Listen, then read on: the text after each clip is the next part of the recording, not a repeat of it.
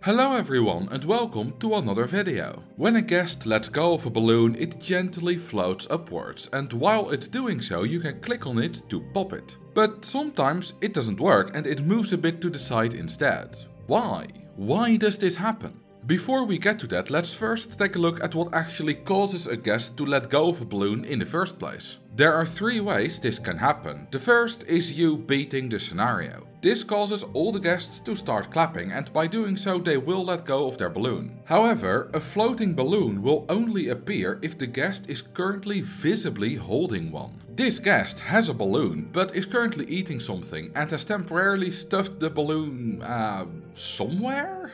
Anyway, wherever that balloon is, when the scenario is beaten the balloon does disappear from his inventory, but it does not float upwards. The same happens if a guest is drowning. They let go of their only flotation device because they've seen enough of this world and would rather not continue on. And lastly, sometimes they just let go of it randomly. By default there is a 1 in 200 chance this happens every 12.8 seconds. Again only if they are visibly holding it. It can also happen if they change from holding a balloon to doing something else, such as holding food or checking the map. Even if this 1 in 200 chance does hit, you're not guaranteed to see a balloon, because there's a 1 in 5 chance that the balloon immediately pops instead of floating up. There is one more way that the balloon can refuse to appear and that is the limit for miscellaneous entities. Things like ducks, money effects, explosions and indeed balloons count as miscellaneous and this limit is just 300 in the vanilla game and 1600 in OpenRCT 2. This is most noticeable if you beat the park with a lot of balloon holding guests as it's very clear that way fewer balloons are rising up than there should be. Once we have an airborne balloon there are three ways for it to pop. The first is for it to collide with something. If there is a scenery item, track piece or path piece in the way then the balloon will hit it and it will pop. Anything goes here, even tiny quarter tile scenery objects that wouldn't even technically be in the way if the balloon is on the other side of the tile. Supports are ignored though, as they aren't physical things that exist in the game, they're only drawn for our pleasure.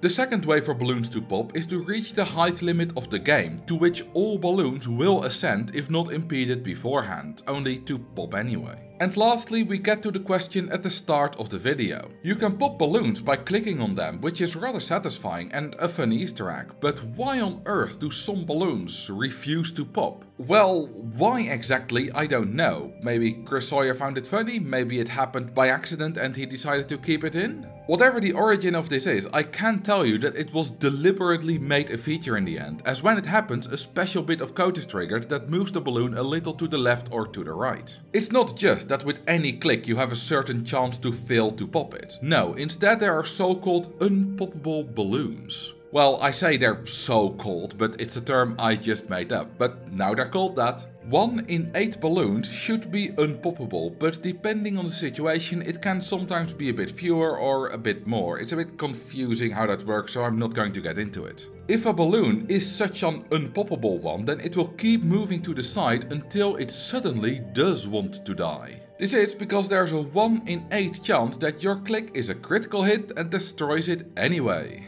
Sometimes this happens immediately and you won't even realize that you just killed a boss enemy in one hit, while other times it might take a lot of clicks to finally get through. And that's it for this video. I hope you have many hours of fun destroying these evil sacks of helium. And if you wish to learn how to exploit guests letting go of balloons, click this video right here. Thank you all for watching and I will see you in the next video.